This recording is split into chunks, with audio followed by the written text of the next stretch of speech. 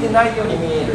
っていうのと叩きつけてる風に見えるんだよ。ねでそれでもすごい綺麗ですくってるんじゃないのかなっていういうぐらいの下回転がかかってるように感じるんですか、はい、切るイメージでスイングをしてあげる。あ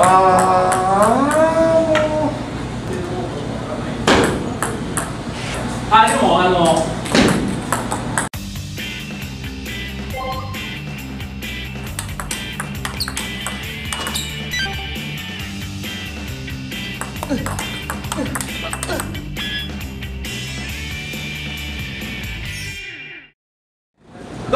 クチャンネルの横山です。村田です。はい。今回もですね村田さんに教わるサーブ第3弾ということですね。これがまあもう最後になります。先日うちのチャンネルで松平健太選手のサーブを研究してでちょっと練習やらせてもらってなんですけどまあ少し出し方が分かったりとか、まあ、あこうやって振ってるなっていうのは分かるんですけどまだいまだにちょっと理解はしきれてないでで村田さんに今日今日だけじゃないもう以前今日今回3回目になるので3回出してもらってるんですけどこれ村田さんのサーブも触りに行くとポテト落ちるんですよ。そんな切れてないように見えるっていうのと叩きつけてる風に見えるんですでそれでもすごい綺麗ですくってるんじゃないのかなっていういうぐらいの下回転がかかってるように感じる。なのでそれをちょっと、ま、教えていただきたい。なるほど。これそうそうで村田さんのサーブって順位をこう出して当たった後に大体みんな上か、えー、松浦健太選手でいうと下に打ってたんです村田さんって当たった瞬間にこう前方にこうフォロースルーをいくじゃないですかはい。これ珍しいなというかいやいいいいな。もう大三とかそうですね。もうこう当たった瞬間前に出す人って本当あの限られた人しかやってないなっていう印象がね村田さんのサーブもそうですねそうですね。あの今からやるサーブの時はこっちですはいこれいいんですよねかっこいいわっていうのとみんな取り慣れてないっていうかフォローするあまあそうですはい、そのアクションが少ないので分かりにくいっていうのもありをちょっと今日教わりたいなと思いますまず叩きつけてるんです叩きつけてはないんですけど、上から下に振るようにはしてますはい。はい。まあそうですね叩きつけたらロングサーブになっちゃい。ますそうそうまあこうはい。ってない。はい。でもこうはい。ってない。そうじゃあそれで下がどう出せるのかってい。うのをえちょっと待ってちょっと待って今の切り方あれですよ、あのまあ、うちのチャンネルで言うと岡田君がやってるあはい。やつなんですけど、まあ、根元から切るイメージでスイングをしてあげるっていうところから着想を得てるんですけど、僕の場合は。こうえっとね、こうあグリップが前にそうそうそうそうそう。あの僕のイメージだと、根元こう入って、はいでここから、まあ、前に行ってもいいんですけど、ここからグって、ここで円を描いてる。そうそう。そう、そう。はいそこで、後ろに転がるタイミングで当てれば下になるし、前に転がるタイミングで当たれば、まあ、向いてる方向に当たるタイミングで当たれば、横になるし。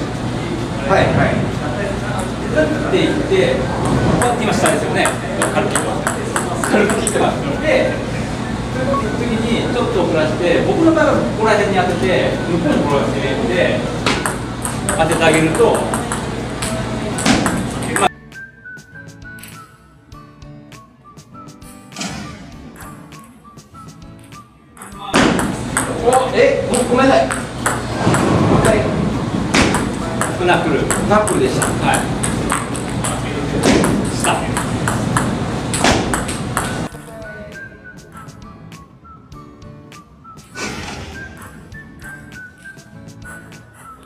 まあ、まあ、これ最初水平で練習したんですよ、できなかった。はい。はい。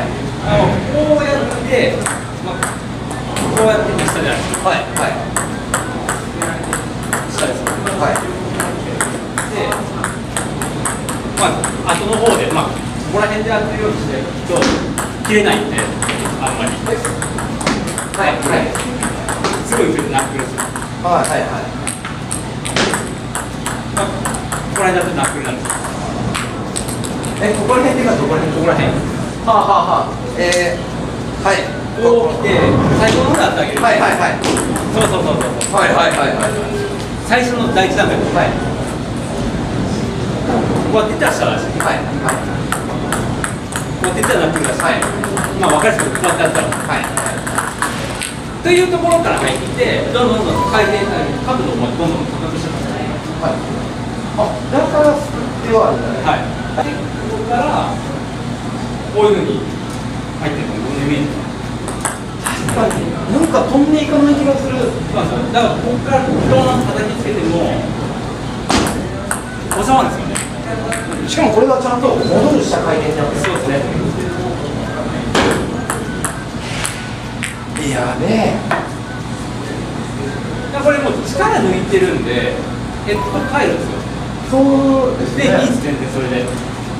ここで固定する必要はなくて当たる瞬間だけ自分が当てたいラケットの形で当てさえすればあとは何でもいいです上から振ろうとする前もそうです。そうそうそうそう。そうそう簡単です。簡単です。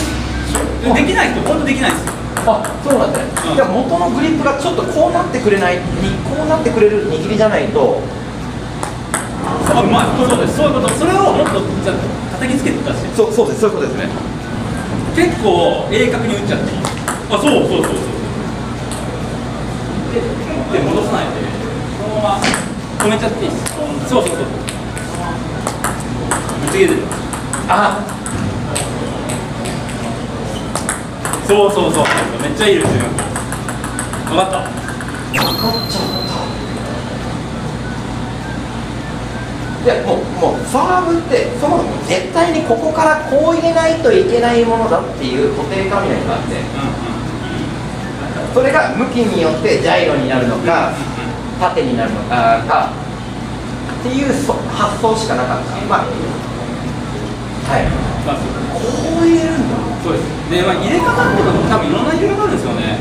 で結局ラバーの上をボールが転がることってないじゃないですか。はい。もう引っかかるだけじゃないですか、なのでどこからやっても変わらないんでいかに飛んでいかない当たってから反発しないところじゃなくて振っていくか。じゃないと叩きつけた時に多分出ちゃうんで、はい。そう考えたらもうこれなんですよ弱い。僕の感じでは。はい。でワルドナーとかじゃないですか、はい。ワルドナーって下出す時にまあここも落ちるけどあの人引っ張って切れるんですよ。ほう。そう。そうそうそうそう引っ張って切れいや確かに。グッチを出せるはい。だから意味わかんない、はいそれでナックルも下も出せるんで。確かに。この人のサーブの落とし方ってトップ選手の落とし方じゃないそう。そこからこうフォローするとすだからやっぱ普通の人たちがその白髪とかもそうですし、はいはいいろんな人が、まあ、ここから切ってみたり、ここから切ってみたり、こうねじって下を出したりとかするので、まあ、固定観念に取られちゃいけないってそういう。いうことですねはい。なるほどねそうです。じゃあ難しいうまい。めっちゃ切れてる。しかももう今日からできるこれ多分それは、そっちの方が、ゆういちの場合は切りやすいのはいに知らなかっただけだと思う。普通の人にやれって言われたら、言ったら、絶対にこうやってやっちゃうから。難しいですよ固定固定してこっちからちゃんと引っ掛けるっていう感覚が最初はないから。だから緊張しても出ないですそこから出せば。あんまり。最終章ふさわしい慣れて。きたらこう立て。て、はいはいでもう結構立てれば立てるほど横っぽくなるじゃないですか。はいはい。こうやってこれって下っぽいですよね、はいゆっくり飛ばしたい下っぽい。うん。それでも分かりにくいですよね。そしたらはいはい。だんだんだんだん立てていくとちょっと横っぽくなしる立てた方が本当切れてるようになるあ感覚なんですかねあでもあの球の勢い。はいはい。あるんで絶対重くはなってそう。村田さんのサーブのいいところで球足が速いところとだとっさにパンって短いのにパンと飛んでくる。一人で手を出しに行くと。落とすみたいな。はいでもこういう角度で切れるようになっちゃうと、はい、さっき言ったここで当てて出したけ上になるのでさっき言ったここで当てて出したけ上になるので。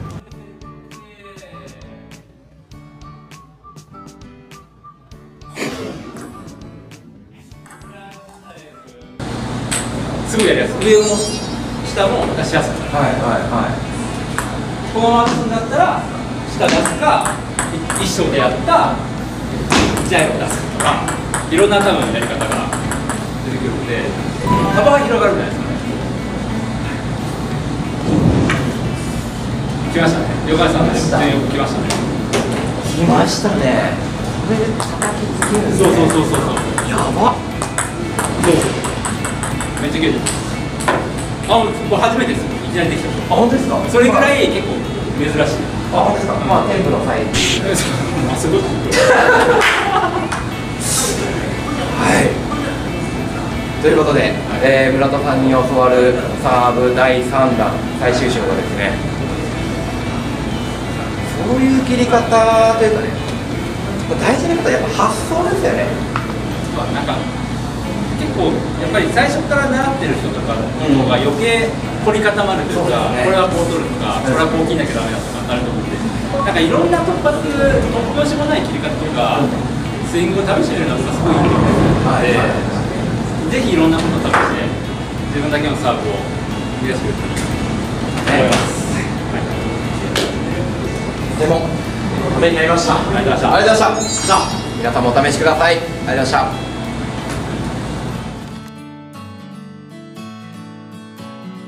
今日はですね、、はい。つもシダの、まあ、新しいラケットが出ました新しいラバーが出ました、シダしようってなった時は、まあ、基本僕一人でなんか評価して、あこれいいですよなんですよ、もうその流れでもう飽きちゃって、多分視聴者の方も飽きていて、そこで、ぜひ神山さんの力をお借りして、一緒にシダを取らせていただければなと。で今日試していこうと思うのが7月1日、えー発売。オフチャロフインナーフォース ALC、